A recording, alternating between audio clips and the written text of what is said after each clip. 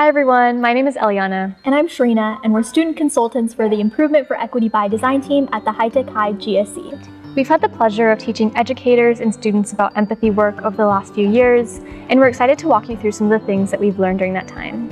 If you haven't already, be sure to watch the Empathy in Design video, which explains how using empathy work in the improvement process allows us to understand another person's experience.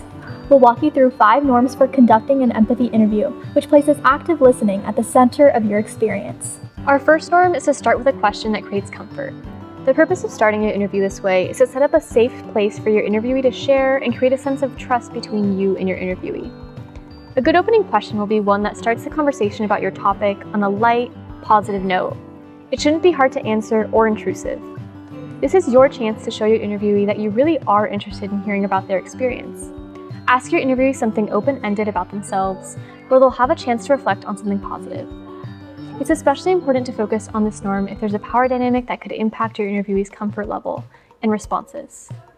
For instance, if you're an adult interviewing a student, consider how you can create a space where the student feels comfortable to share their experience.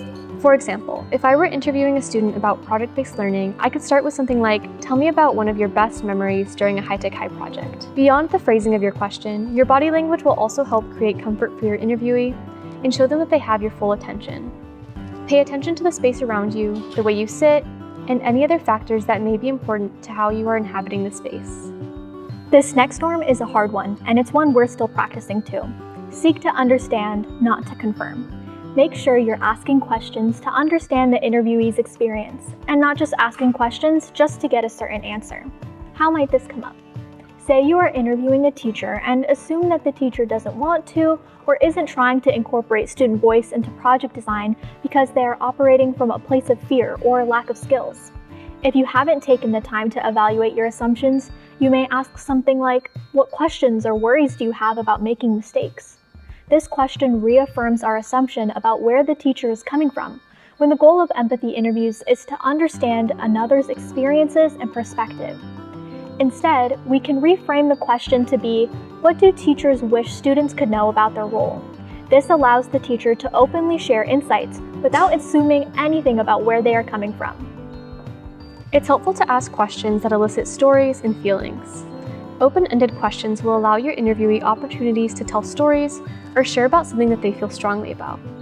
For example, do you feel supported in incorporating student voice in the classroom is a yes or no question that doesn't provide your interviewee with the space to explain their experience. An alternative question that elicits stories and feelings is tell me about a time when you felt supported in incorporating student voice in the classroom. The next norm is to ask once clearly.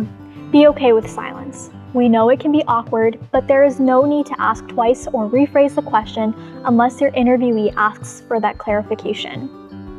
Along with asking questions that elicit stories and feelings, it's important to be okay with going off track with your list of questions. The track is what your interviewee wants to talk about. There will be plenty of opportunities to ask follow-up questions like, tell me more, and what was that like for you? That will uncover some insight that may help with your empathy interview goal. A tip that's really helpful for practicing this norm is keeping in mind what it's like to talk with a friend. You're deep in the conversation, truly listening, and not sticking to any sort of predetermined script. Now you're ready to prepare for your own empathy interview. As you brainstorm your questions, keep in mind the purpose of your interview or what it is that you want to learn from your interviewee, and design open-ended questions around that goal.